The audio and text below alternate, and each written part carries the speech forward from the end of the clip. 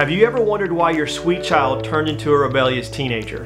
Keep watching and I'll share some common problems in parenting that could lead to a rebellious spirit in your child. Hello friends and thanks for watching the next video in this parenting series. In over two decades of student ministry, I've encountered numerous exasperated parents in my office who were at a total loss for why their good child suddenly turned rebellious and defiant. As I met with both parents and students, I began to see a pattern emerge. The common denominator was a lack of emotional connection between parent and child. While this defiant behavior seems to come out of nowhere, it often develops slowly in the absence of emotional connection. Most issues that develop in our relationships with others, especially with our loved ones, are rooted in a breakdown in communication.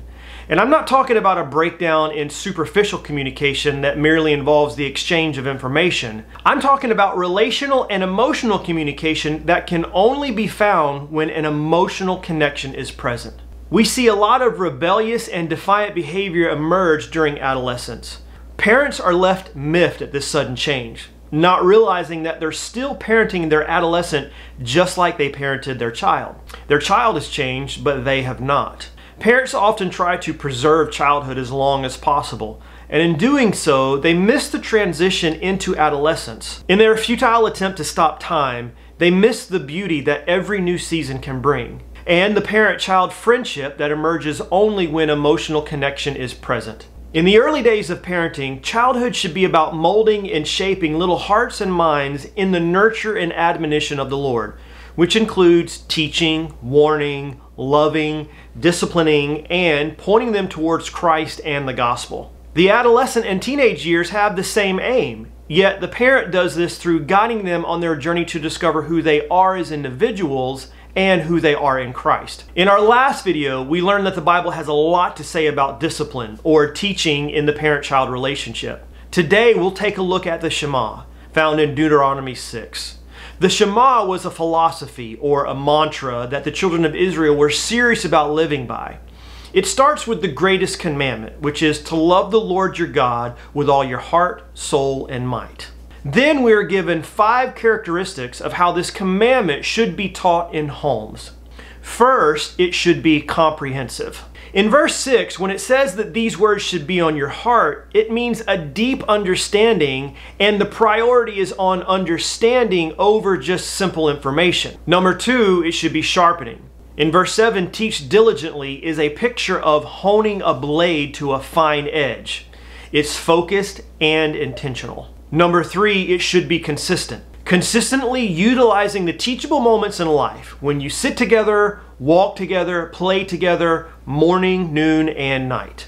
This pictures our journey of faith and how it's lived daily. Again, this is taking advantage of the teachable moments as we engage in day-to-day -day activities, recognizing that our children are the very best discerners of our hypocrisy. Your own walk will speak volumes to them. Occasional spurts in intentionality will almost always be dwarfed by patterns of neglectful or absent connection. Number four, it will be strengthening. Verse 8 says, You shall bind them on your hands. The Orthodox Jews of today still wear the phylacteries bound around their heads and their hands.